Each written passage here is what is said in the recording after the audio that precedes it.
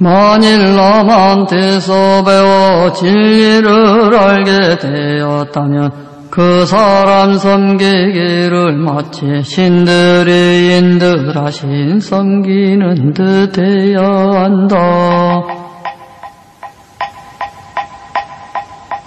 배움이 깊은 사람은 존경을 받으면 진심으로 기뻐하며 진리를 보인다. 어제니는 그것을 이해해서 듣고 그 진리를 실천한다.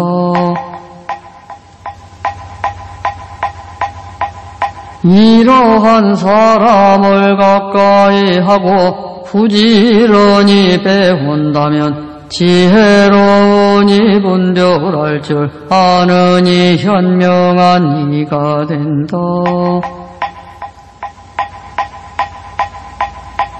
아직도 그것을 이해하지 못하고 질투심만 있는 소인배나 어리석은 이를 가까이 한다면 이 세상에서 진리를 알지 못하고 의심을 버리지 못한 채 죽음에 이른다. 마치 물이 많고 물결이 거센 강에 빠지면 사람이 물결에 휩쓸려 떠내려 가는 것과 같다. 그러니가 어찌 남을 건네줄 수 있겠는가?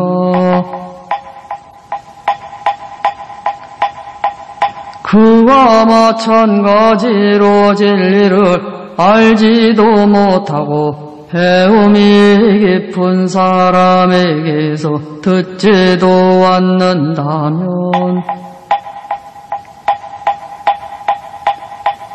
스스로도 모르고 의문도 풀 수 없다. 그가 어찌 남의 마음을 움직일 수 있겠는가?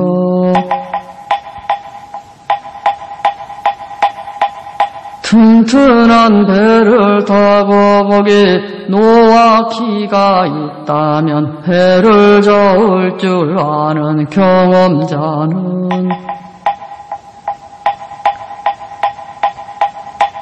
다른 많은 사람들을 태워서 강을 건네 줄 수 있다.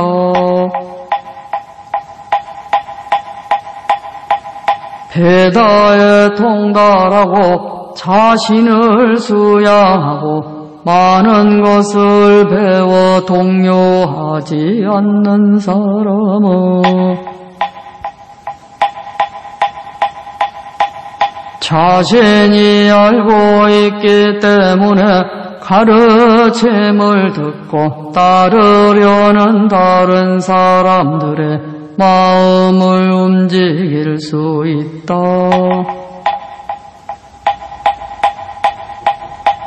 그러므로 정말 지혜롭고 배움이 깊은 성실한 사람과 가까이 하라.